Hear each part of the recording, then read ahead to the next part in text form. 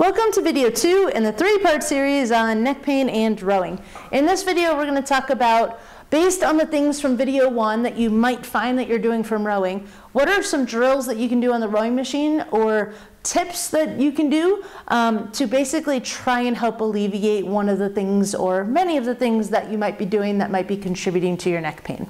So to start, really, if you're having something where you're at the catch position and you're not sure about your neck position or your head position, you can put something on the wall in front of you that is at your eye level. If you just sit up, stick something straight at your eye level, and try and focus on that object while you're rowing. That's the first tip. Second tip is something called the pick drill. Now, if you're having one of those things at the beginning, um, I talked about why it might be happening in video one, where you might not be getting that connection to the machine. So one of the exercises you can do is this beginning of the pick drill, where your legs are straight, uh, your hips, you're already kind of in that backward position if you're looking at a clock, up towards uh, the ceiling, 12, or up, yeah, ceiling is 12, and then you've got 11 and 1. So you're getting into that back, or back position, and all you're going to do is take your arms and put them out, and then back in. So what this is doing is kind of showing you how much your arms are really doing. So if you're feeling a lot more in your arms when you're doing the stroke, this is really the majority of it. So the connection does come from your hands through your butt and your feet and vice versa. But really our arms and our shoulders aren't taking a large amount of the work or the beating. Our legs are doing most of it. So if you just get used to kind of what this feels like, that can help you when you're at the catch. Now you will have a tiny bit more when you're at the catch, especially on the first stroke or two, but for the most part, it should start to turn into just feeling like this. Uh, so just doing this can kind of help you understand that. So you can kind of do that as a practice. Another part that contributes to that is actually where you're holding the handle. And I've got a whole video on gripping, uh, but try and have your hands nice and loose pinky over the edge so you're nice and wide and your hands are kind of in front of your shoulders.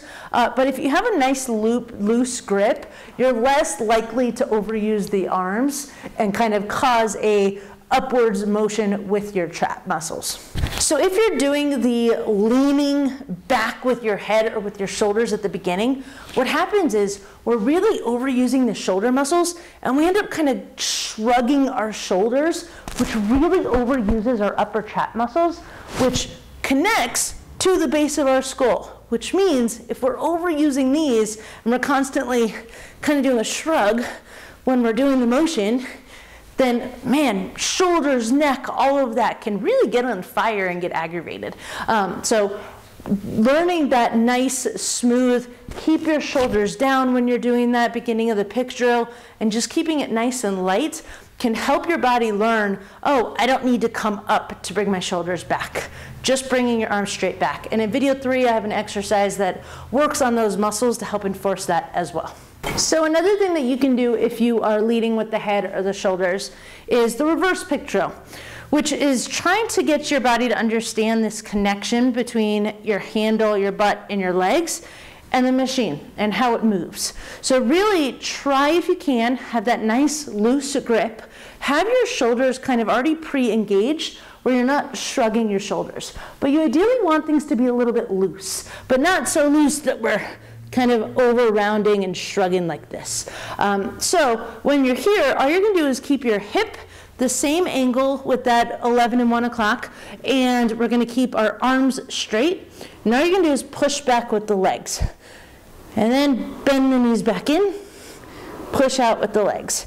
And even here, you should be able to feel that there's not too much going on with our hands. So really, if it's similar to when we're doing that pick drill where you're back here and you're feeling like it's not much with your arms, you should be feeling it similarly with this reverse pick drill type of exercise.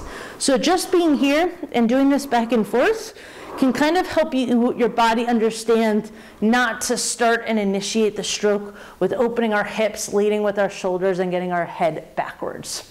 Those are the primary exercises that I'd recommend working on on the rowing machine.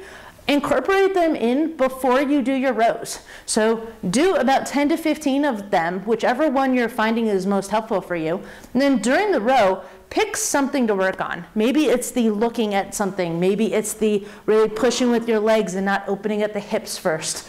Um, or it's back here, keeping your head, again, at something that kind of helps you um, just keep your eyes level so that you're not bringing your neck downwards.